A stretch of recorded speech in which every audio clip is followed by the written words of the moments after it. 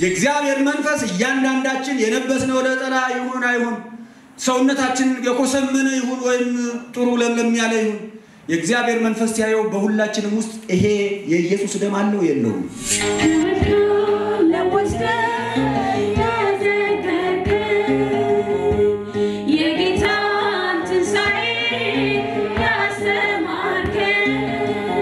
የኢየሱስ ስፍራው ምድርም አይደለም።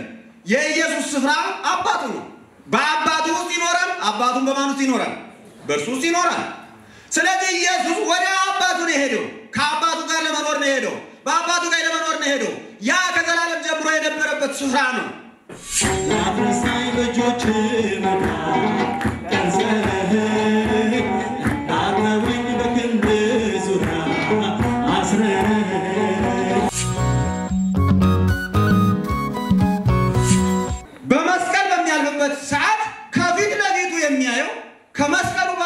የሚያየው የሚያልፍበትን መንገድ መራራ ጉዞ ተሻግሮ የሚያየው ምንድን ነው? ዓለም ሳይፈጠር ከአብ ጋር በአብ ዘንድ የነበረውን ክብር ነው የሚያየው።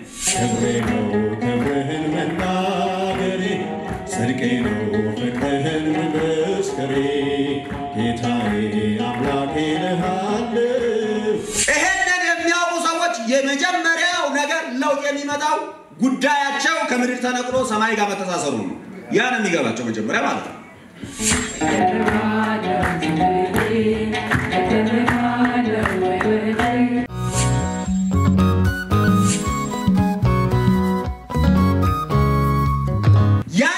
የእግዚአብሔር መንፈስ በቃሉ የእግዚአብሔር መንፈስ በጸጋው የእግዚአብሔር መንፈስ በአሰራሮቹ እያሳየን በሄደ ቁጥር በልባችን ላይ ሰፊ ቦታ እያገኘ የሚመጣው የእግዚአብሔር የዘላለም ቦታ ይሆናል፣ ያስና ይሆናል።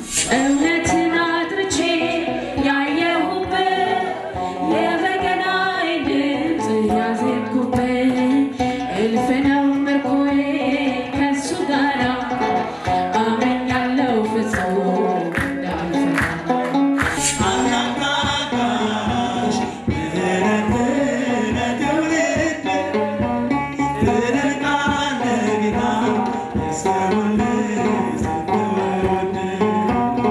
ኢየሱስ የእግዚአብሔር ልጅ እንደሆነ የምታምኑ ሰዎች ዓለምን አሸንፋቸዋል። ይሄንን አውጁት ማለት ነው።